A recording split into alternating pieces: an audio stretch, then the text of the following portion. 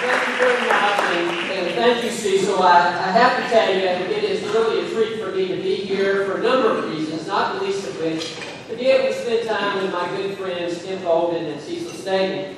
As I told you, we, we served together in the state senate for, I was there for five years, actually fulfilled an un, un, unexpired term for a year, and then was there for two full terms. But we served together for at least five years in the state senate, and, and I can tell you, as the majority whip, Cecil Staten did an outstanding job, provided the state senate with outstanding leadership, and I am sure that he will do an outstanding job as the interim president of Valdosta State College. And let me tell you, before, before long, you'll be wanting to remove that interim title from his name to make sure that he is indeed the, the permanent president. I, I just couldn't be any prouder, Cecil, and thank you so much for the work that you do. Also, Tim Golden, who served in, a, in the state legislature for many years, was in the House and then served in the state Senate, did an outstanding job continues his outstanding service to our state, even now as a member of the board of the Transportation Board for the state, and does an outstanding job with that. So thank you, Tim, for all of your work. Ron Borders and I also served together in, in the House. I got there just as he was leaving, but it, it was a pleasure and privilege to serve with Ron in the House. And I want to thank all of you who have served in, in any kind of area of public service. It really is important certainly something that has blessed me in many ways and hopefully has blessed our communities as well. You know, representing the 1st Congressional District of Georgia is quite an honor for me. I was born and bred in this district. I am a product of the district. Grew up in the Savannah area and had to go off to Young Harris College where I met this cute little girl who was my chemistry lab partner from Waycross, Georgia. Ended up marrying her Next week, we will have been married for 37 years. So I'm very proud of that and been very blessed in my life. But you can imagine being in Washington, D.C. and going up there, and it was pretty overwhelming for me at first. In fact, I got up there and I saw these people that I had seen on CNN and on Fox News and on the cover of Time magazine, and I couldn't help but think to myself, wow, buddy, how did you get up here? A couple of days later, after I got to know some of those people, I was thinking to myself, wow, how did they get up here? but you know, often people ask me, what's the most surprising thing that you found since you've been in Congress? And truthfully, the most surprising thing is the most encouraging thing, and that is that there are a lot of good people in Congress, a lot of smart people, a lot of people who are very serious about what they're doing, want to move this country forward. And I, yes, I do find that somewhat surprising, but mostly I find it encouraging. So I am very encouraged by that. We've been out during the month of August, been in the district, and it's always good to be back home, especially for me. It's always good to be back in South Georgia. And of course, in South Georgia, it's hot and humid, and you're used to that. And it kind of reminds me of a story I'm going to tell you very quickly about a good old boy from South Georgia who was tragically killed in an accident now, you have to hang with me here for a second because we all know that good old boys always go to heaven. Well, this good old boy had done a couple of bad things, so he didn't, he didn't make it. He ended up going below. Well, the first day he was down there, he gets down there, it's 104 degrees. I mean to tell you, it's hot down there. So he's just working away. The devil walks by and he said, Hey, boy, where are you from? He said, I'm from South Georgia. He said, South Georgia, boy.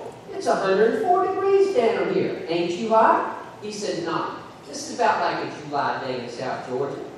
Devil said, all right, we'll see about that. So he took the thermostat the next day, turned it up 110 degrees. He walked by the South Georgia boy and he was just a working. I mean, he was getting with the program. Devil looked over at him and said, South Georgia boy, it's 110 degrees down here. Ain't you hot? He said, nah. It's about like an August day in South Georgia. The devil said, all right, we'll see about this. So he took him and he put him in a room all by himself. He took the thermostat, he turned it down as low as it would go. He came back the next day, he opened the door, and I'm telling you, it was cold in that room. It was so cold, there were icicles hanging from the ceiling. And the South Georgia boy was just a shiver. The devil looked at him and he said, okay, South Georgia boy, what do you think about this? South Georgia boy looked at the devil and he said, let me guess. The Atlanta Falcons won the Super Bowl, didn't they? well, let's hope that they take that the Falcons to the Super Bowl. Quickly, I just wanted to go over a couple of things that I feel like we've accomplished in the 114th Congress in the first seven months that we've been in. And truthfully, I think that we got a lot done. In fact, one of the things that we've gotten done, for the first time since 2009, we have actually passed a budget.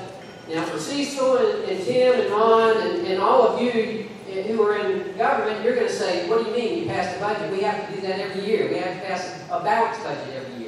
Well, the federal government, they don't do that. In fact, again, it's been since 2009 that we even passed a budget. But we did it this year. We passed the budget for the first time since 2009. Now, there's nothing more that I would like to be able to stand up here and tell you that this was a balanced budget. No, it was not. However, I am proud to tell you that it does give us a roadmap which we can get to a balanced budget if we will just follow this roadmap.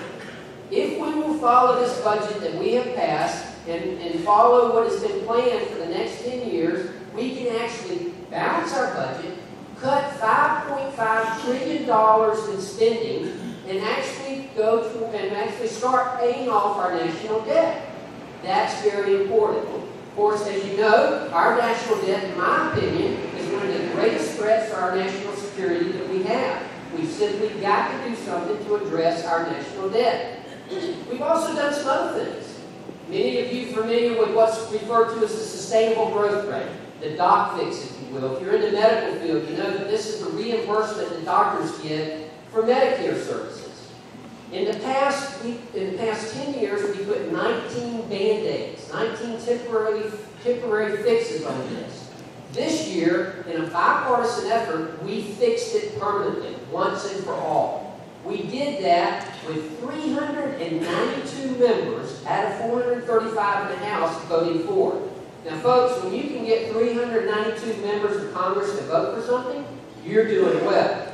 We did well with that. We fixed it once and for all. Very, very proud of that. We've also done some other things. We passed what's referred to as TPA. You know, one of my goals in Congress is to learn at least 10% of all the acronyms in the federal government. If I can do that, I feel like I will have accomplished something. TPA is Trade Promotion Authority. Now, keep in mind, and I don't know how you, which side of the fence you are on this, but keep in mind that TPA is the process. It is the process by which you approve trade deals.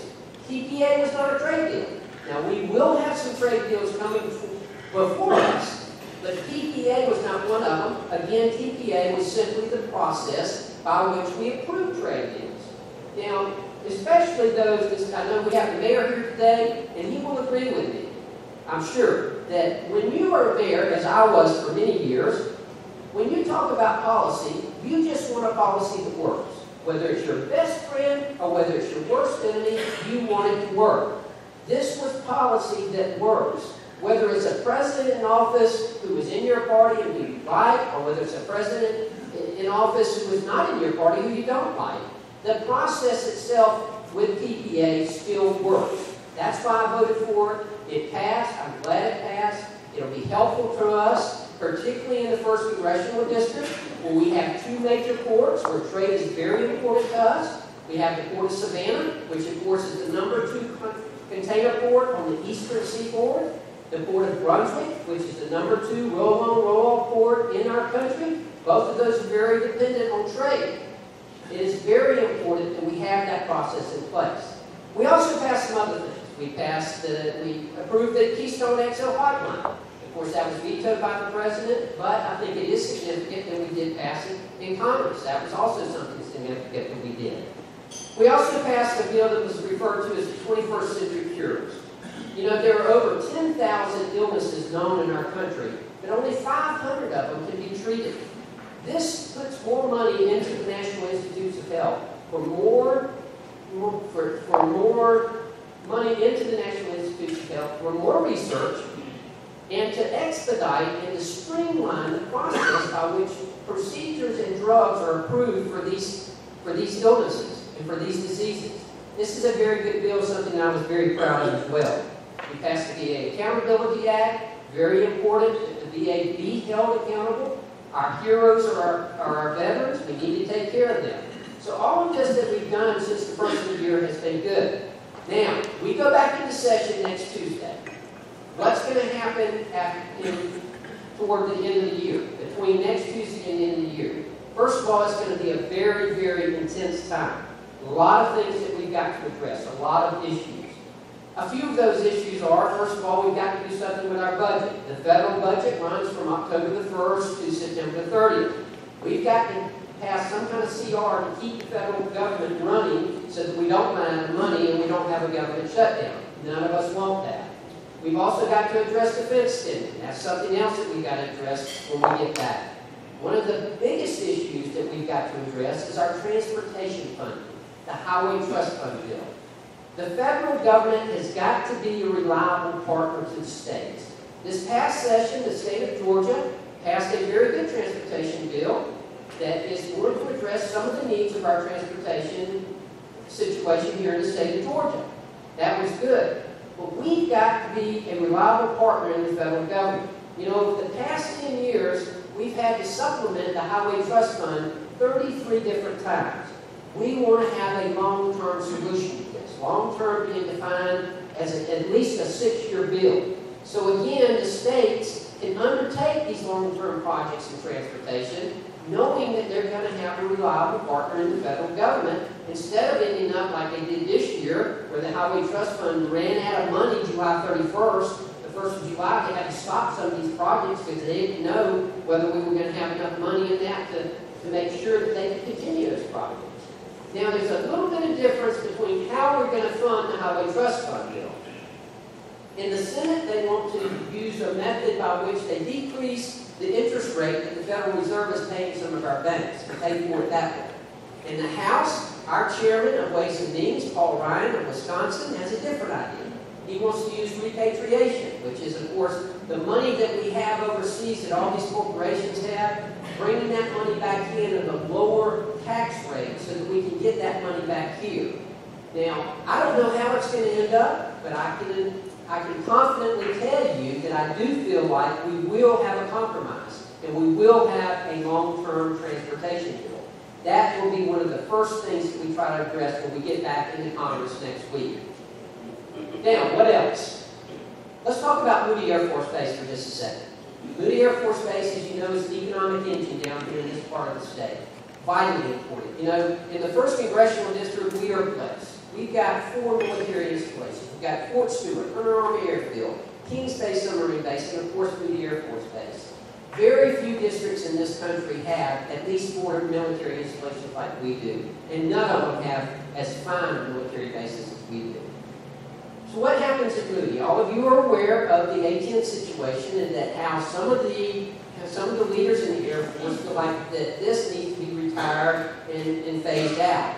Well, as a member of, of Congress, we have we are very fortunate to have Martha McSally, who is from Arizona, a freshman colleague of mine, who is actually an A-10 squadron leader and an A-10 pilot who has really helped us with this issue. In fact, we were able to pass legislation, and I testified before the Appropriations Committee, the Defense Subcommittee of Appropriations, on how important the A-10 is, and it's been proven to be important, even recently in Afghanistan and in the Middle East, that it is a very useful part of our arsenal, and we need to keep it going. We were able to get $672 million to continue that program in this fiscal year, and that was very, very important.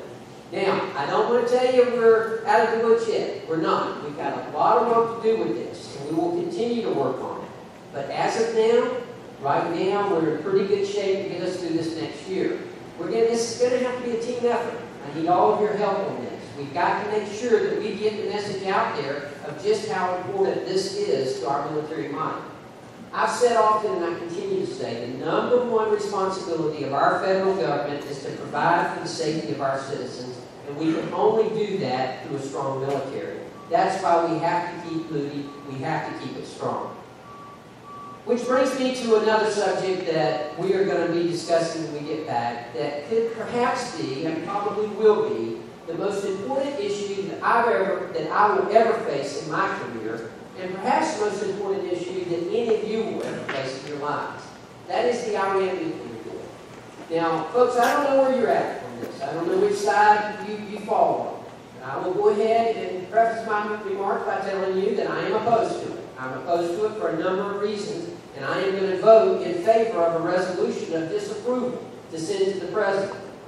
I'm opposed to it. I, I had the honor and the privilege a couple weeks ago to travel to Israel. First time that I've ever been there. A great country, a great friend of the United States, our only ally, and, and certainly our most important ally in that region. The most volatile region in the world, a powder keg over there. Let me tell you, they're, they're concerned. Along with 37 other members of freshmen and sophomore members of Congress, we met with President Benjamin Netanyahu. We met with him for over two hours. Just unbelievable that he would spend that much time with us in a room that was very small, just us in there. And here is the Prime Minister of this country with a whiteboard and a marker outlining the problems with this deal. And not only outlining the problems, but giving solutions, offering solutions as to how we can make it better. Well, I thought, okay, this is just one person, one member of the political, political arena over there, and his opinion. Then we had the, the opportunity to meet with the president, President Reuven. He too was opposed to it, adamantly opposed to it. So then we had the opportunity to meet with the, the opposition party leader, Isaac Herzog, who ran against Netanyahu for prime minister earlier this year. He was opposed to it. Well, I thought, okay, we got all these politicians in Israel. It's kind of unusual for them to agree on something, and they're all opposed to it. Then we went the next day and met with the prime minister of the Palestinian Liberation Army. He also was opposed to it. Now, folks, when you get those people all in unison being opposed to a deal, you know there's a concern there, and they are concerned. Everyone, even the Palestinian prime minister and Prime Minister Netanyahu, made it clear we're going to do what we have to do to protect our citizens. Folks, this is a very, very serious issue. This could lead to nuclear proliferation in the Middle East. I'm not trying to over dramatize this, but I will tell you, this is something that all of us need to be aware of. What are some of the problems I find with it?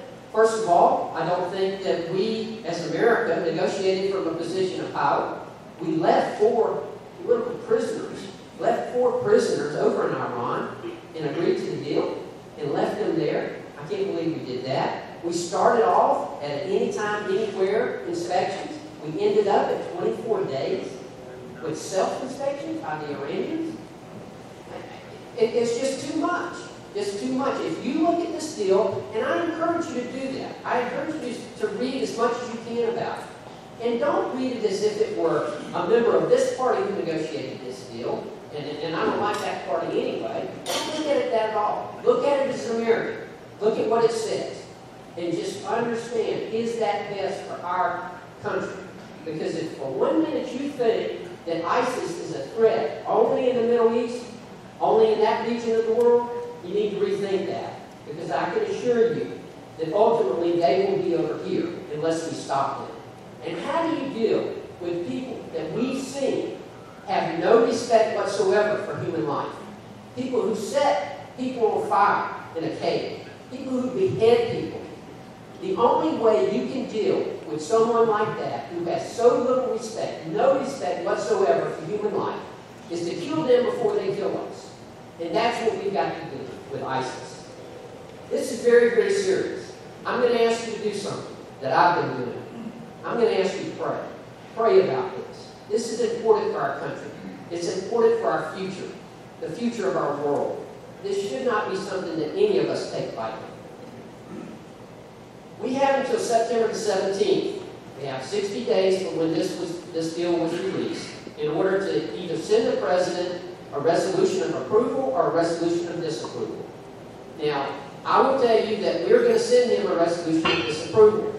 Now, whether he has the votes or not, and coming over here, I read where he got the, the last vote in the Senate that he needed in order to sustain a veto. So we won't be able to override a veto, and he's already made it clear that he's going to veto this resolution of disapproval that we send to him. So it looks as if, if what we read in the paper is true, then it looks as if he's going to be able to get this deal through. again, I encourage you. I, I, I, appeal to you. Let's all keep praying about this. Very, very important. So, aside from that, everything's just hunky dory.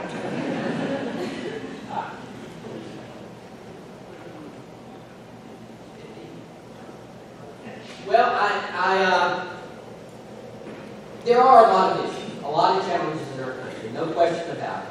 But I want to tell you that I still remain optimistic. I think we live in the greatest country in the world. We've got so much to be proud of, so much to be thankful for. And we've got such a great military.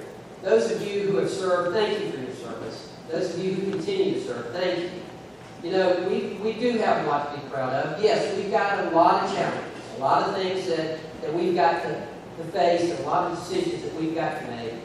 But I'm confident. I'm confident that we will continue to sustain, continue to be the great country that we are and that we always have been.